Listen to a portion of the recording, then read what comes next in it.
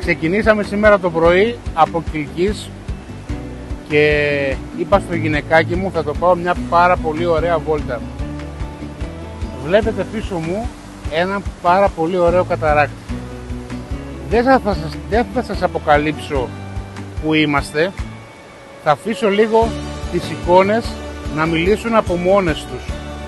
Φυσικά οι περισσότεροι από εσάς μπορεί να καταλάβετε το σημείο που βρισκόμαστε αλλά επειδή δεν είμαι κακό παιδί και δεν θέλω να σας κρύπτω να σας αποκρύπτω μάλλον τα πολύ ωραία μέρη που έχουμε στην Ελλάδα για να έρχεστε βρισκόμαστε στο Ανθοκόρη Μετσόβου.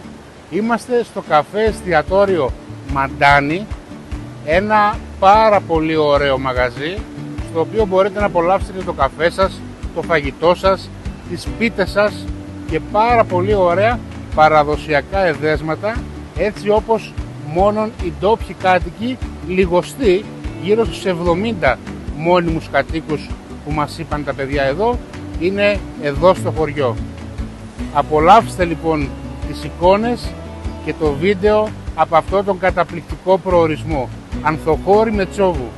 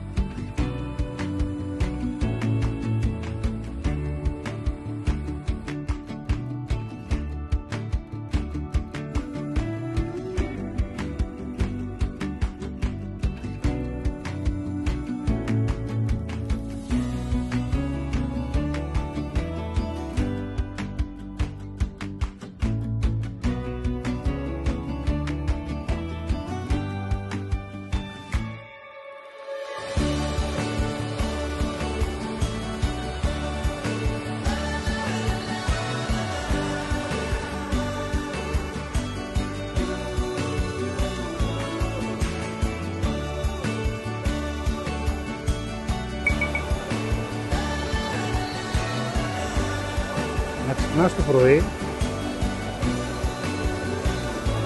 και με ένα τσουπ να βρίσκεσαι στο ανθοκόρη και να απολαμβάνεις τον πρωινό σου παραδοσιακό καφέ. Στην υγειά μας.